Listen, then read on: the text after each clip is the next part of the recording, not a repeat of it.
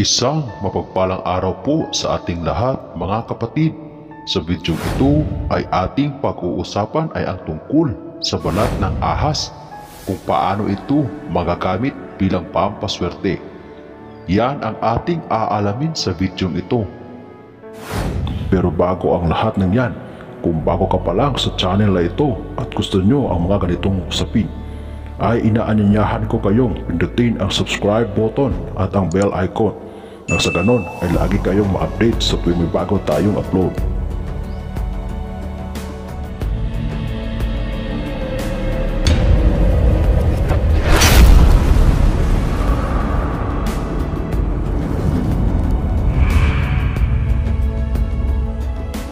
Kung isa ka sa mga may paniniwala sa mga pampaswerte o lucky charm, ang video ito ay para sa iyo.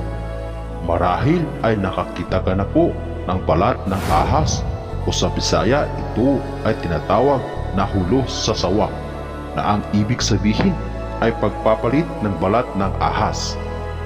Sa iba ito ay ginagamit at inibabad sa langis at pinapahid o ihahaplos sa tiyan ng buntis para ito ay mabilis manganak nang walang kahirap-hirap na ilalabas ang sakol.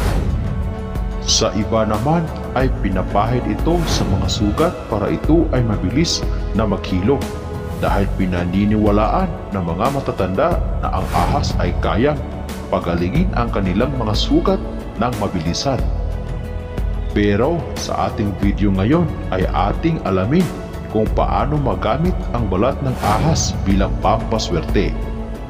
Ayon sa aking kaunting kaalaman, ang balat ng ahas ay nagdadala ng kasaganahan at naghahatid ng swerte sa ating buhay. Pinaniniwalaan na ang balat ng ahas pag inilagay ito sa iyong wallet o cash box, ito ay nagdadala ng good luck o lucky charm. Kapag ikaw ay may tindahan at iyo itong inilagay sa iyong kaha ng pera, ito ay nag-aakit ng customers o mamimili o ito ay nag-a-attract ng pera o money magnet. Ibig sabihin, ang balat ng ahas ay mabisang panghatak ng pera, lalo na po sa mga taong naniniwala rito. Paalala lang po, kung kayo ay nakakita o nakatagpo nito, huwag muna ilagay sa wallet o saan mo ilagay.